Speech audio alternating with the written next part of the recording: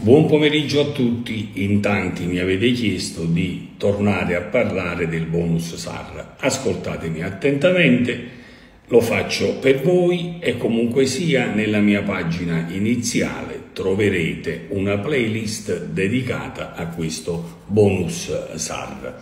Bonus SAR 2023 che avrà inizio a partire da settembre. Vediamo insieme quali sono i requisiti.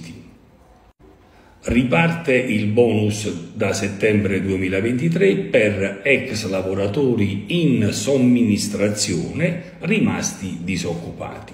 Ecco i requisiti e le istruzioni per la domanda.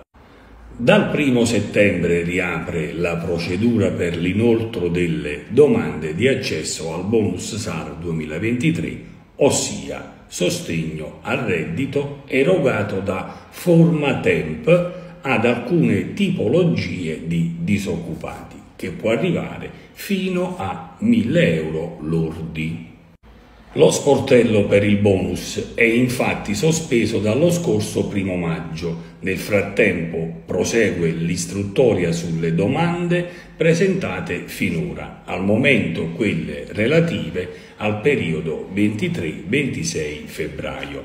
Vediamo di seguito tutti i requisiti e i dettagli per ottenere il sussidio. Il bonus SAR è un sussidio economico una tantum offerto da Formatemp, ente bilaterale per la somministrazione di lavoro. La prestazione è riservata ai disoccupati, tuttavia l'accesso è limitato a una specifica categoria di professionisti. Il bonus SAR è destinato esclusivamente a chi ha lavorato con contratti di somministrazione sia a tempo determinato che indeterminato. Esistono requisiti specifici per poter fare richiesta, tra cui essere disoccupati con almeno 110 giorni di lavoro e in stato di disoccupazione da almeno 45 giorni negli ultimi 12 mesi dall'ultimo giorno di lavoro in somministrazione.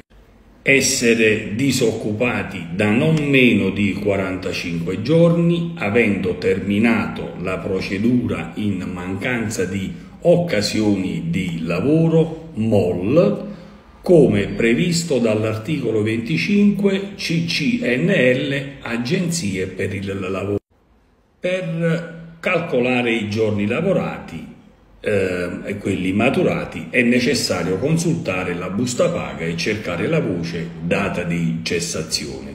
Per calcolare i giorni di lavoro in somministrazione maturati bisogna sommare i valori più alti tra i giorni lavorati e i giorni retribuiti e i giorni INPS sempre presenti in busta paga. Ribadisco per calcolare i giorni di lavoro in somministrazione maturati bisogna sommare i valori più alti tra i giorni lavorati, i giorni retribuiti e i giorni INPS.